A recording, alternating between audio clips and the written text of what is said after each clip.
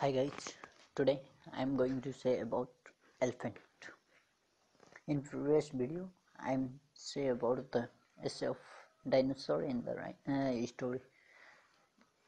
So let's start African elephant numbers have recovered in some countries but are declining in others due to poaching, habitat loss and conflicts with uh, people. Today, an estimated uh, 6 lakhs elephants remain in Africa. In Western Africa, elephants are solely imperial, serving only in small population with the within um, insulted habitat uh, remains.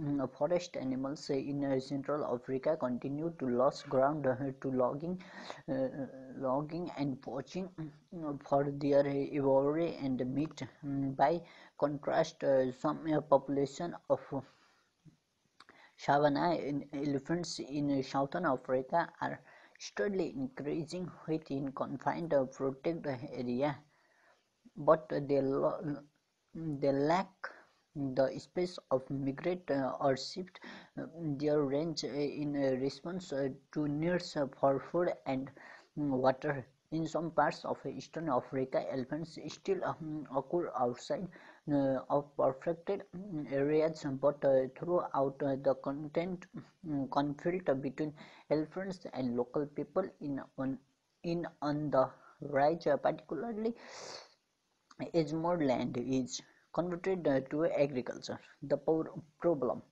like any clever animal, elephants are attracted to free tasty food.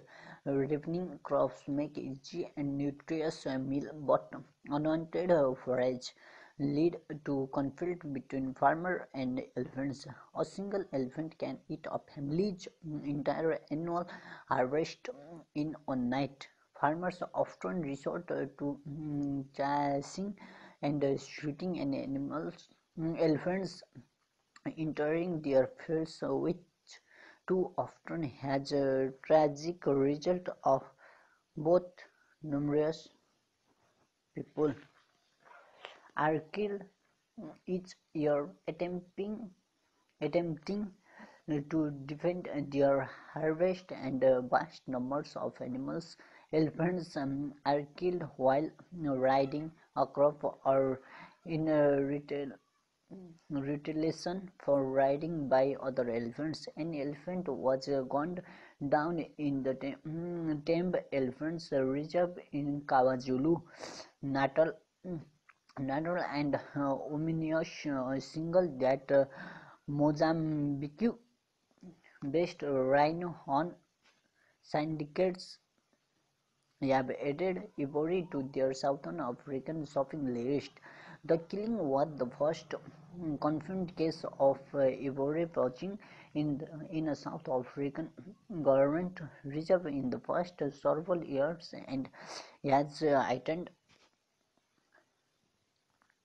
uh, so I tend a concern that elephants will be targeted in the region because of surging black market prices for ivory. Thank you so much.